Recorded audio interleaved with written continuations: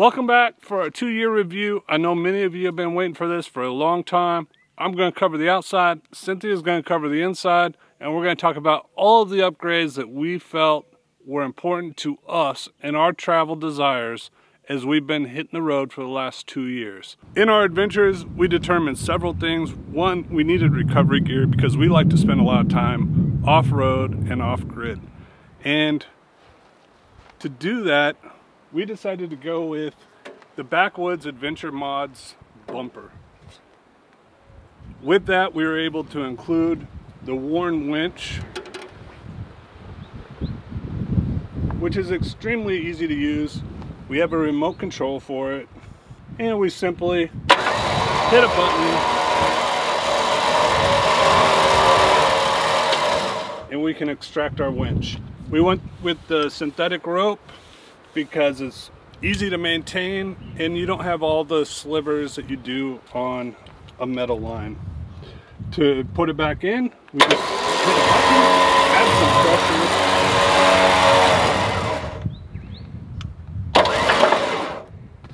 We also went with Vision X lighting. Up here on the bull bar, we have a 20 inch light bar. At the very top, we have a 40 inch light bar. And we have one inch cubes for our fog lamps. Another thing that we did on the front end is we added ARMA. Underneath the van, because we do a lot of off-roading, we also added the van compass engine skid plate and the differential skid plate in the back to help protect it from getting damaged by rocks. We added two things under the hood, which have been invaluable. Number one, we added a heat exchanger, which is gonna keep our water tanks from freezing during our upcoming winter travels in Alaska. And we also added a second alternator that is dedicated to our battery system and keeping it charged. Moving to this side of the van, you'll notice we did ARMA on our fenders as well to help protect those, but also to create a good clean line. We also added new tires. These are 285 75 17s, which is the equivalent to a 34 inch tire. And it helped lift the van a little bit higher. But in order to add these tires on, we had to do a complete change to our suspension. We added the Van Compass 6.3 suspension upgrade, which includes a two inch lift and lifts the entire body of the van up off of the ground to give us that much more clearance. One of our other recent changes is we relocated the position of the Espar and it's now connected right here on the back of the battery box and our heat exchanger is actually inside the battery box. This will allow us to have easier maintenance when it's time for us to service the Espar. We also added ARMA along our rockers on both sides of the van and up here around the windows and on our flares. We did it around the windows because not only does it look good, but it has helped protect the van against the pinstripes that we've gotten while we are off-road. We did our flares because while we're driving, we've already noticed so many nicks and dings from rocks that are kicked up from the van by being off-road that this helped protect that. Here we have a city fill. In the newer vans, they don't have the city fill outside anymore, it's inside, which makes a lot of sense because we've only used this once or twice in all of our travels, so it's kind of pointless. We have our cassette tank, which we would much rather have than a black tank. We can simply pull up to an outhouse, dump our toilet, and continue on with our adventures. It's so easy to use. We're very happy. We then went with the Backwoods Adventure Mods ladder. The stock ladder has a weight capacity of just over 200 pounds. I'm a little bit more than that, so I could never use the ladder safely. It's not sturdy. This one is extremely sturdy. It has a larger footprint as we go up the van.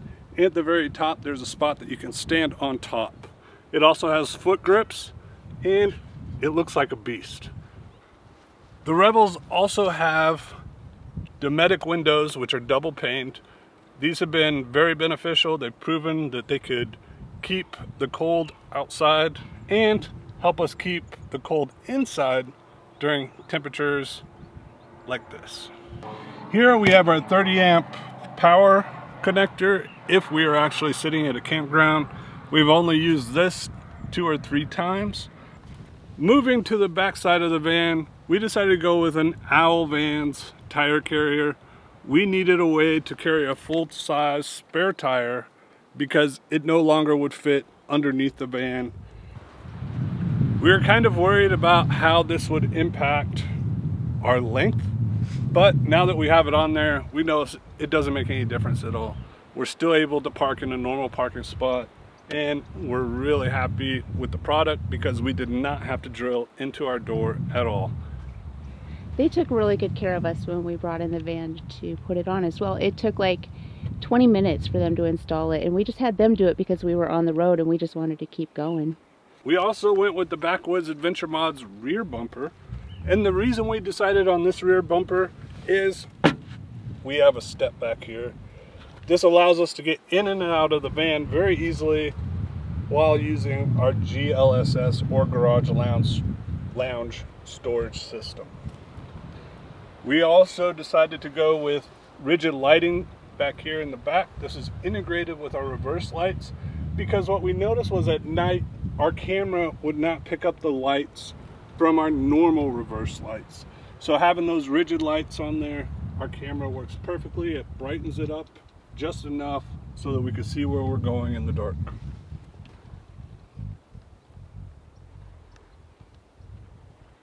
On this side of the van we have some additional 12 volt plugs. So if you need to plug something in while you're sitting outside, maybe like a stereo, you have that ability right here to do that. We also have an additional solar panel plug. So that's about it for the outside of the van. We do have our awning, which allows us to create some shade depending on where we're sitting. And it has worked perfectly for us. A lot of people complain about whether it's level or it builds water.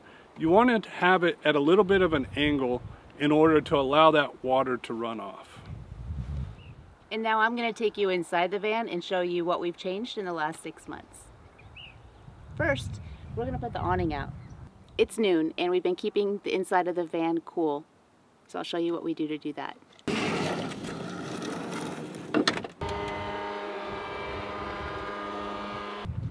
Okay, I'm going to show you around on the inside and show you what we do to keep it cool in temperatures like this and warm in the winter. One of the things we really love is this table. Flips up this.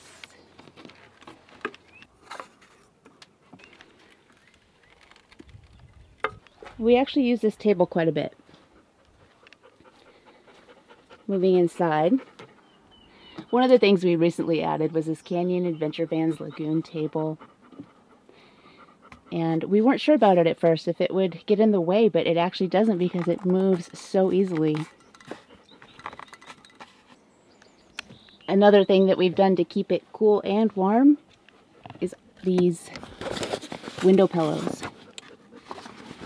made by Overland Gear Guy.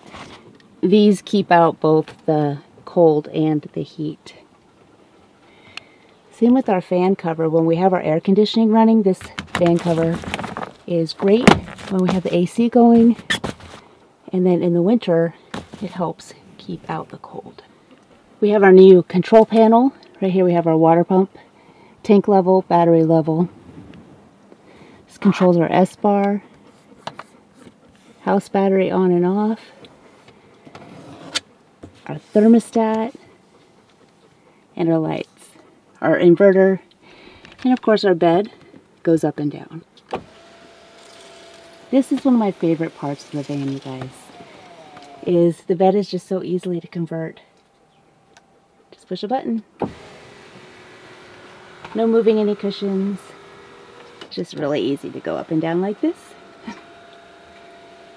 and this way we don't leave the bed in the down position. I think if we would have gone with our previous choice of the Coachmen Galleria, we would have never um, made the bed up and actually lounged back here. And that's what's cool about our GLSS back here. We also added the Canyon Adventure Van's head bump stopper.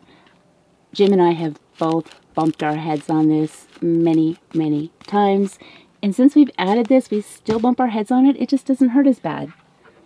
Moving into the closet, nothing much has really changed in here. We still keep all of our stuff. Our Instant Pot is in that bin and just random stuff in here. Our toilet paper has never moved from this spot. Jim's drone stays down there and we have our extra storage. What I love about this closet is I can pretty much just throw anything in there and it's out of sight, out of mind. I still feel like we have plenty of storage.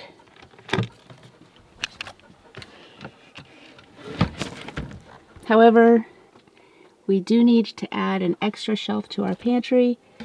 We just haven't gotten around to doing that yet. The refrigerator.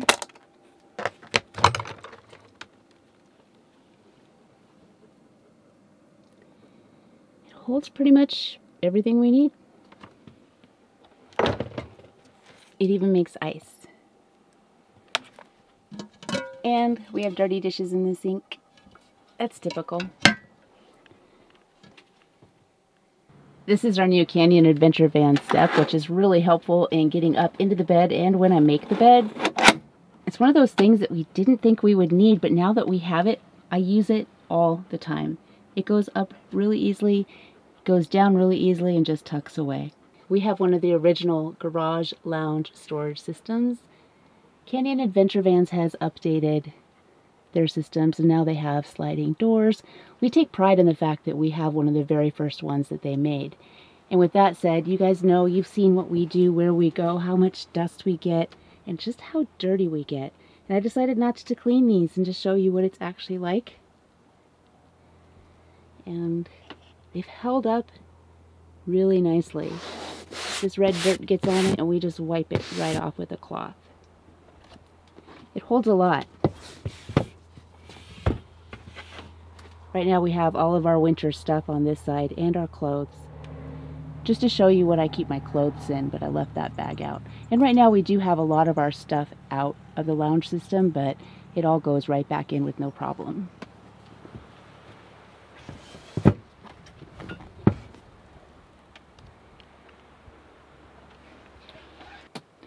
On this side we have the stuff that we don't access as much or don't need as much and it's just kind of tucked away down here because this is where I really like to sit and literally lounge.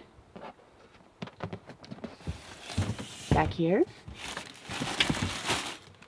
our Dutch oven, cast iron skillet, air compressor, and winch recovery gear. And the great thing about the GLSS, you guys, is we aren't that organized. It just, it holds so much stuff even if we just kind of toss it in there. So this is some new things that we're working on for um, 2021 is doing some special edition powder coating. So we take our basic aluminum that we're using now, which matches perfectly in the Revel, but we're also going to start to individualize it a little bit. So if somebody wanted something in a different color, we can do that I as love well. that. We have a new shower curtain that uh, we haven't started shipping yet, but this is coming. And this is, it just slides right out. And goes all the way around and then has magnets on the bottom. So when you're taking a shower, not a drip hits the floor, it just hits the curtain and rolls right into the shower pan. When you're living in such a small space, having good places to organize your stuff is incredibly important. So we love our behind the seat organizer from Overland Gear Guy. It has so many pockets. It holds everything we need, including our iPad, my MacBook Pro, all of our cords. My spices are even tucked into the very bottom pouch. Right before we started recording this video, we had the air conditioner on because Ember's getting a little hot. So we're boondocking. We've been out here for, this is day two. We're just going to turn our air conditioner back on.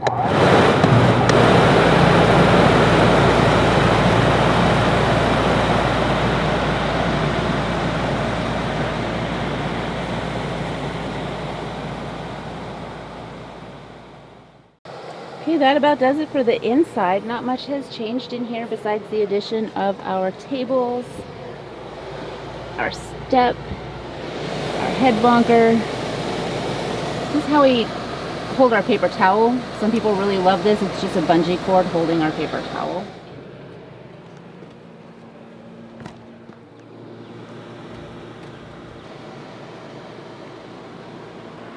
Moving around to the back.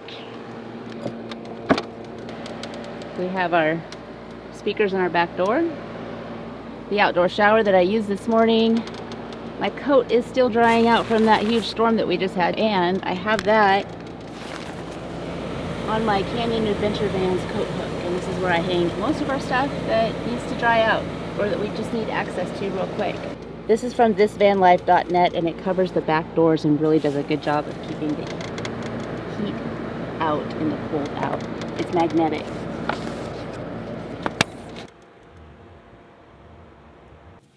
What we have up here is a new sound system which was on our top five of modifications that we wanted to do after our one year review and we did exactly that. We have the Pioneer 7600 NEX which has a 9 inch floating screen.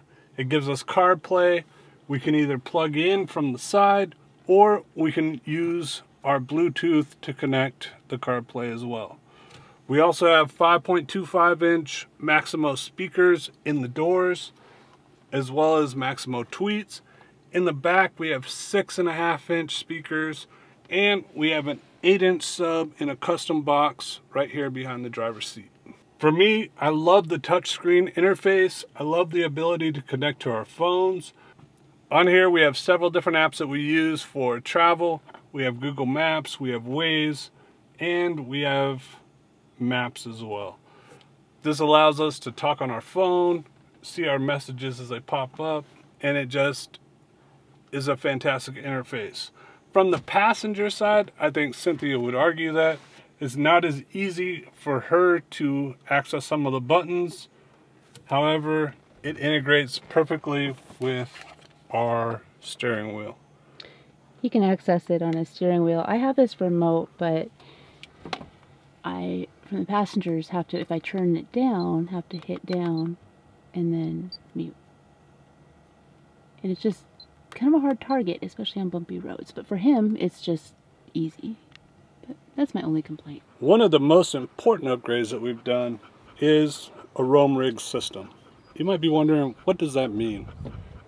Well, remember in our one year review when we said our dream was to convert to lithium and have it inside the van?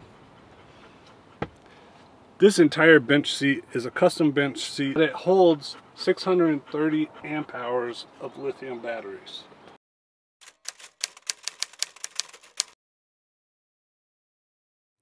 And now for final thoughts. My final thoughts are I'm very glad that we went with the Revel. We had so many other options and this was the perfect option for us. Also, over the past two years, it has taken us to some amazing places that we would have never gone to before during the pandemic as well, it has been sort of an escape for us.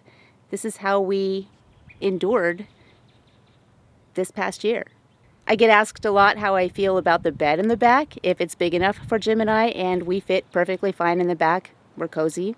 We sleep well back there, but we're both really good sleepers. In terms of all of the upgrades, I'm happy with them. As a passenger, the suspension has taken away that sway that I used to feel as a passenger as we were going down the road that would go like this and make my tummy turn a little bit. So I'm happy about that. Let's see what Jim thinks. My final thoughts on the van is we wanted a turnkey option that we could modify and make our own. And I think ultimately we determined that this is why we revel. We enjoy the fact that we can make the modifications that we've made and enhance the shell that we purchased. As things wear out, as things break, we can do the upgrades and modifications to make them that much better. If there's anything that we didn't cover today, if you have any questions, we do videos every six months about the van itself, and then in between we do our travel videos. If you have questions, leave them in the comment section below. Over the next six months, we're going to be putting the Roam Rig system to the test We're probably going to do a couple more upgrades while we're down here in the States, and we'll be excited to show those to you come winter. So stay happy. Stay healthy. And stay safe. We'll see you again soon. Oh, hey, did you hit that subscribe button? That really helps our channel too. We'll see you later.